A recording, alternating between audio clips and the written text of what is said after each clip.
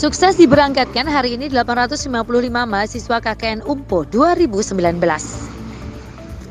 Dalam agenda pengabdian kepada masyarakat, 855 mahasiswa yang terbagi dalam 83 kelompok diberangkatkan kuliah kerja nyata atau KKN oleh Rektor UMPO bersama pemerintah Kabupaten Ponorogo melalui Lembaga Penelitian dan Pengabdian Masyarakat atau LPPM. Universitas Muhammadiyah Ponorogo yang bertempat di Ekspotorium UMPO Rabu 31 Juli 2019. KKN UMPO 2019 dilaksanakan selama satu bulan mulai 31 Juli 2019 hingga 31 Agustus 2019 bertempat di Kecamatan Sawo, Kecamatan Pulung, Kecamatan Ngebel, Kabupaten Ponorogo, dan Kecamatan Tegalombok, Kabupaten Pacitan.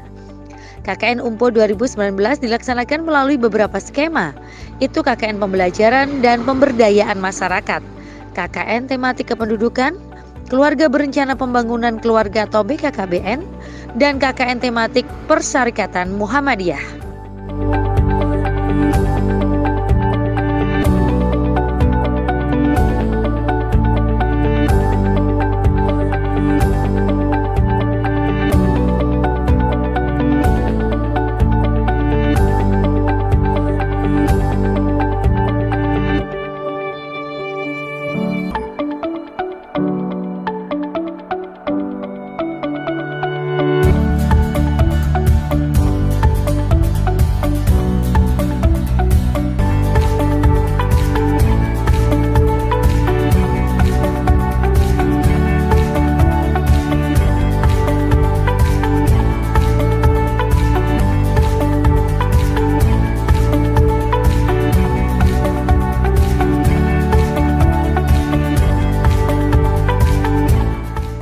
Selama berada di lapangan, mahasiswa akan diarahkan oleh dosen pembimbing untuk terjun ke masyarakat dan melakukan program-program konkret dengan melibatkan masyarakat secara aktif dalam berbagai aktivitasnya.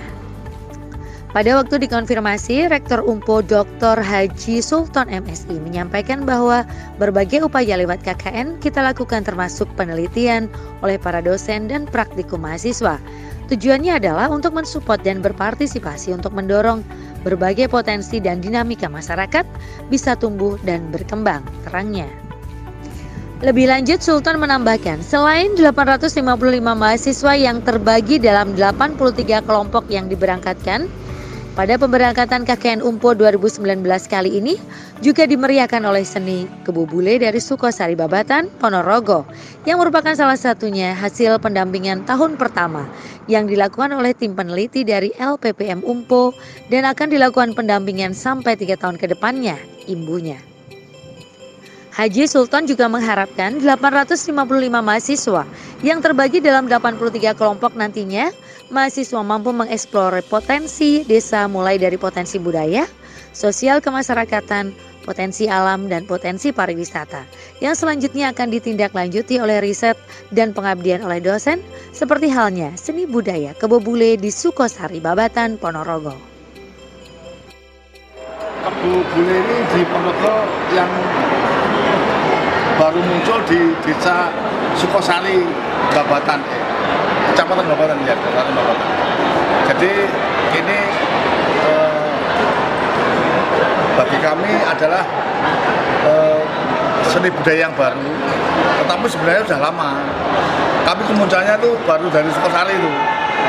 Dan semoga ya kita berharap bisa berkembang dan dari untuk eh, membawa Ponorogo dengan khasana yang banyak kesenian, menambah khasana kita. Jadi sementara ini kita daftar di Dinas Pariwisata sebagai suatu kesenian yang yang yang ada di Ponorogo. Nanti tak, tak coba kita ngomong dulu dengan dengan kepala desa dan komunitas yang ada di situ. Sementara. Ya ini uh, dalam rangka opening untuk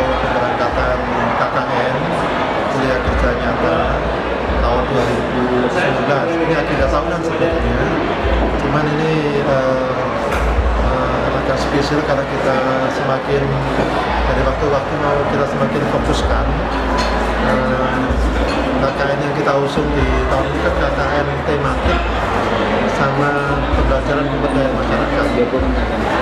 Tentu ini dimaksudkan agar eh, mahasiswa mampu mengeksplor potensi-potensi desa apakah itu potensi budaya potensi sosial masyarakat, sosial masyarakat seperti KM misalnya termasuk potensi alam yang harapannya nanti uh, setelah KKN ini akan ditindaklanjuti uh, dengan program-program riset dan pengabdian oleh dosen uh, tentu dengan program yang berbeda.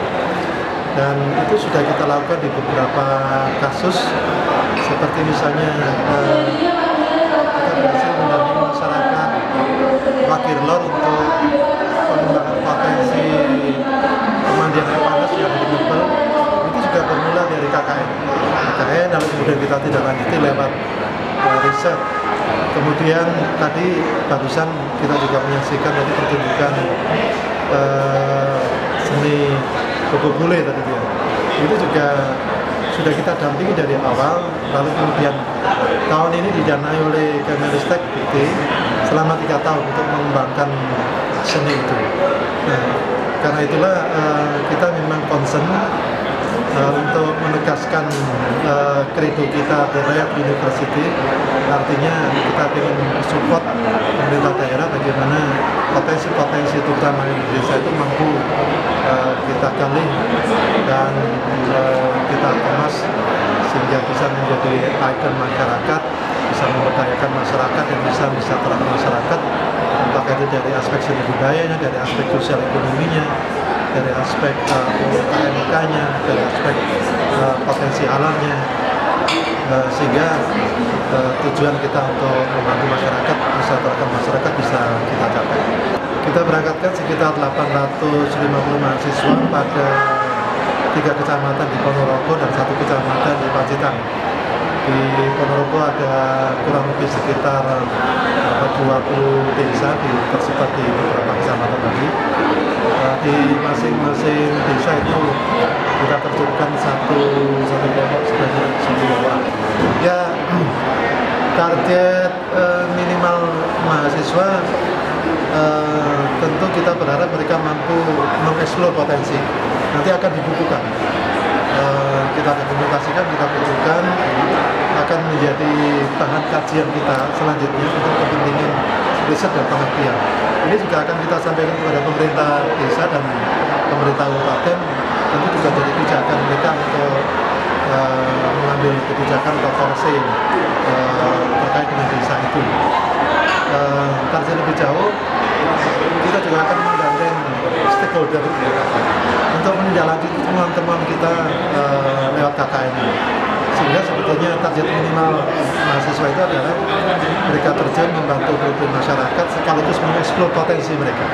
Mengkomunikasikan potensi mereka kepada uh, stakeholder yang lainnya dan nanti akan kita bantu berikutnya lewat berbagai agenda dan program yang kita uh, kampus sebetulnya dengan kredo yang tadi uh, saya sampaikan uh, kita sendiri memiliki grup reok khusus untuk para mahasiswa. Kemudian kita juga sudah mengenalkan uh, Ponorogo ini dengan reoknya kurang lebih sudah 10 tahun terakhir ini ke seluruh uh, berbagai negara di dunia ini.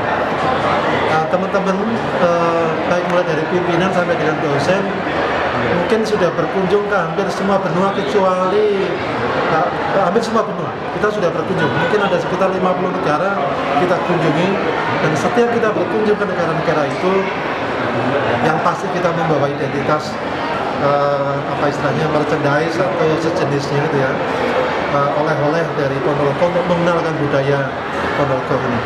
Kemudian selain itu kita juga mengundang mereka untuk datang ke ke Ponorogo lewat uh, satu program yang kita sebut dengan uh, perkemahan mahasiswa internasional. Juga ada program uh, apa istilahnya seperti short course begitu selama kurang lebih 10 hari di sini. Dan nanti sekitar bulan Agustus uh, kita adakan di, di kampus ini kita mengundang juga beberapa mahasiswa internasional ke Ponorogo ini tentu belajar budaya, belajar uh, seni dan sekaligus mengenal Indonesia lewat Ponorogo. Kemudian uh, di bulan Agustus nanti kita juga menghidupkan kembali uh, apa yang pernah apa istilahnya pernah terjadi di beberapa waktu yang lalu yang disebut dengan ini uh, jagongan Ponorogo. Kita akan ajak uh, diaspora Ponorogo yang ada di luar kota, yang yang ada di berbagai perguruan tinggi di luar Ponorogo dari TS, dari UNER, dari Unipro, dari Bandung, dari Jakarta. Kita sudah sambung mereka dan mereka siap datang ke Ponorogo. Kampus uh, kita akan jadi tuan rumahnya. Uh, kita ambil satu tema apa kabar Ponorogo. Jadi kita ingin menyentuh uh, kesadaran mereka sebagai orang Ponorogo supaya mereka tidak lupa tentang Ponorogo. Jadi kita ajak kembali ke sini dan mendiskusikan tentang Ponorogo.